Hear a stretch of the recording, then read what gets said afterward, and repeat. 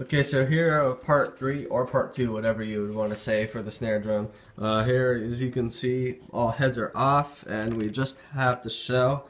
Um, as you can see, we've got the lugs over there and the two heads for the drum.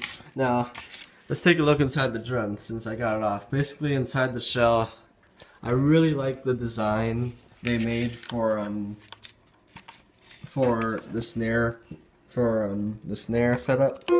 Um, it's very traditional but very slick looking, especially for this snare drum. I really love the way they have the, this made. You just slide, as you, if I can, you just slide the um, bands right through here and it tunes up really nice. It has a great sound to it. It has a very, I can tune it many different ways, but I would say I usually have, I like to get a fat, dry sound out of it, which makes it sound really good.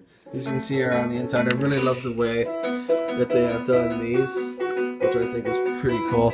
Um, I just, man, we just gotta take a look. Admire the design of this drum. Look at how just, it looks really, look at the shell, the outside, it just looks really nice. Nice, professionally made piece, whatever you call that. But yeah, um, that's pretty much it for the shell. Uh, I'm gonna kind of show you real quick the proper way to like clean out your shell of your snare drum. Basically, you just want to take like a old dust rag like this and not really hard, just lightly kind of go around the inside of the drum. And then you want to take it and kind of just lightly go along the rim.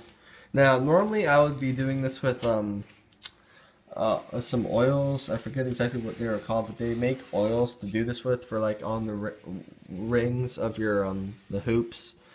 And same thing on the other side. I will kind of just come along here. So yeah, um, that's pretty much for that's pretty much it for the shell. I'm going to get the snare. I'm gonna get, I'm not gonna record putting the um, lugs and heads back on, but I'm just gonna put them on and finger tight everything, and then I'll take you through my tuning process for the way I tune my snare to get a fat, dry sound. Um, yes, it does involve lots of E-rings. So yeah, um, there you have it. That's the shell. Uh, shout out to my buddy Connor over there practicing Don't Stop Believing My Journey. Um, but yeah, that's pretty much it. So stay tuned for vlog three or four for the snare drum, however you say it. Because like I said, I like to say my first my first vlog I did involves the snare, so I like to say that's part one. But however you want to put it. So yeah, that's it. Stay tuned for more.